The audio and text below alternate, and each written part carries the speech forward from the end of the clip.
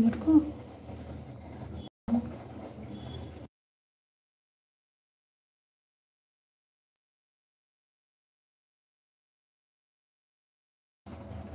देखिए, रक्षाबंधन के लिए, कल के लिए आज घर में ही बना रहे हैं रसगुल्ला। तो आप वीडियो पे बने रहिए, आपको दिखाएँगे हम।